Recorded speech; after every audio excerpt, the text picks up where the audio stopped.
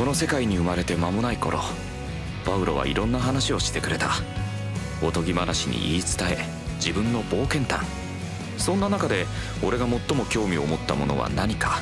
それはエルフのエッチなお姉さんだ。ずっと嘘だと思ってた。そんな男に都合のいい存在がいてたまるかってな。でもだ聞いてくれみんな。いたんだよ。俺は見た。